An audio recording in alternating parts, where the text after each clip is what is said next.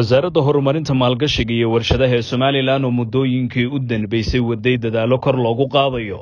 Horumarka iyo siyaasadda warshadaha dalka ayaa magaalada hargeysa ka daafurtay. Kulanka wadatashiga qabyo qoraalka siyaasadda horumarinta warshadaha somalilan. Kulankan waxaa ka soo qayb galay wasiirada wasaaradaha maalgashiga maaliyadda beeraha.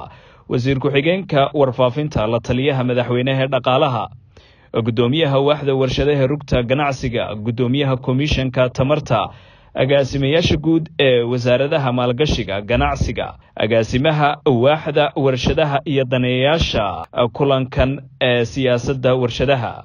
Ugu horeyn waxaa kulankaasi ka hadlay agaasimaha guud ee wasaaradda maalgashiga maxamed cismaane siciid iyo agaasimaha waaxda warshadaha ee wasaaradda maalgashiga fu'aad rashiid bullo waxaanay ka warbixiyeen ujeeddada kulankan wadatashiga qabyo qoraalka siyaasadda horumarinta warshadaha. Runtii farxad weyn ayay noo tahay maanta inaynu halkan ku soo bandhigno kulanka wadatashiga siyaasadda horumarinta warshadaha qaranka jamhuuriyadda somalilan oo muddo badan iminka wasaaraddu ay ku howleysnayd muddo sanad ah waxa weeyaan culays iyo tamarba wasaaraddu iskugu geysay sidii warshadaha qaranku u heli lahaayeen siyaasad say u heli lahaayeen iyo xeer.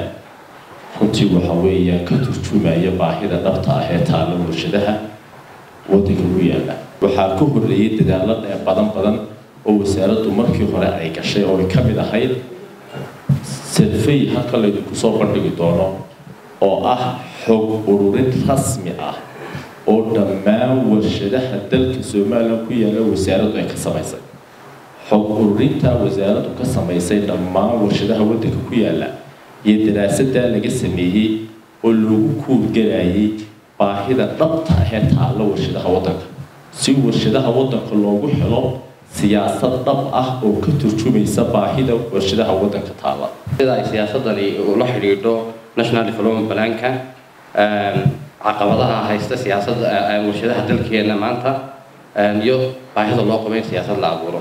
Ayaaba uu chapterka koowaad ka hadlayaa kule qof kasta uu hortaalaa siyaasaddu ama dul un contentiska chapterka labaad oo aan xoog ku saarnay aragtida iyo hiigsiga siyaasadani ay leedahay ama visionka iyo missionka iyo ujeedooyinka siyaasaddan laga leeyahay. Siyaasaddani maxay daweynaysaa ayaabaynu ayaabanu chapterkana xoog ku saaraynaa oo muxuu ahaa sidee u shaqaynaysaa? Chapterka saddexaad oo runtii ah chapterka ugu muhiimsan oo ah politic teamka waxay siyaasadani maxay ka shaqaynaysaa? Sideese u shaqaynaysaa? Dhinaca kale waxaa iyaguna kulankaasi ka hadlay guddoomiyaasha waaxda warshadaha rugta ganacsiga. Guddoomiyaha guddiga tamarta iyo agaasimaha guud ee wasaaradda ganacsiga iyo dalxiiska ee somalilan waxaana hadalladoodii ka mid ahaa. Waxaan hambalyanay wasaaradda maalgashiga warshadaha. Soddon sanaynu jirnay. Intaaba waanu ka daba qaylinaynaa ama ay isku jirto ama ganacsiga iyo warshaduhu ama gooniha kala ahaadaan. Mar dhaba may hirgelin in siyaasad loo sameeyo iyo xeer toona.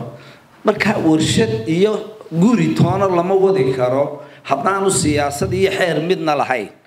Waxay muujinaysaa tallaabsiga iyo horumarka aynu ku tallaabsanayno maalinba carqalad baynoo imanaysa waa la darsayaa? Waxa lagaga bixi karaa waa iskaashi. Runtii farxad weyn bay tahay inaynu soo gaadho halkan aynu maanta marayno ee ku aadan sidaan uga tashan lahayn sidaan u qaabeyn lahayn u horumarin lahayn warshadaha dalka. Isla markaana loo eegi lahaa caqabadaha haysta kuwa hadda jira iyo caqabadaha hor yaalla warshadaha imanaya. Isla markaana loo heli lahaa siyaasad guud oo caqabadaha sida wax looga qaban lahaa meesha ka saaraysa. Ugu dambayn wasiiradii ka soo qayb galay kulanka wadatashiga qabyo qoraalka siyaasadda horumarinta warshadaha somalilan ayaa iyaguna dhankooda soo bandhigay caqabadihii hore u jiri jiray ee siyaasadani xal u noqon doonto. Sidaynu u yarayn karnaa sidaynu uga dhigi karnaa dal warshadee dalkeenna waa arrin inoo hor taalla inaynu kamaha isu qabsanno shacab iyo dowladba waxa weeye siyaasad iyo shuruuc wax lagu kala hagaa mar walba oo loo baahanaya waxay tilmaan ka tahay qaranku halka uu marayo. Mar walbana waxaa la xaliyaa un problemka dee kula jooga. Horumarkeenu dayaxa haddaynu gaadhana dayaxa problem yaalun baynu xallin doonaa.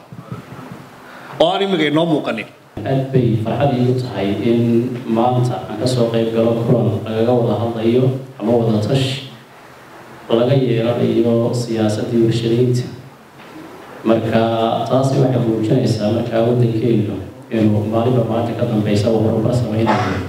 Maalin haddaynu saddex shan qaybood u qaybinno qaybi waa beeraha qaybina waa macdanta qaybina waa warshadaha qaybina waa dhismayaasha qaybina waa khidmadaha ama khadamaadka shantaa wax soo saar wax soo saarkeena ugu yari waa ka warshadaha.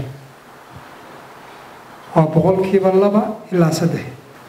Siyaasaddan waxaan ku salaynay runtii oo aan uga dhignay aasaas xog ururintii xagga warshadaha sannadkii hore dabayaaqadiisii runtii qabsootay ilaa hordhe ilaa sanadkan horaantiisii warbixinihii ka soo baxayna halkan laydinkula wadaagay. Marka tii baan nidhi ha noqoto aasaas ha noqoto runtii si siyaasad markaa hagi karta xaggii warshadaha loo helo. Xamse xayd wararka laanta afka soomaaliga c b a t v hargeysa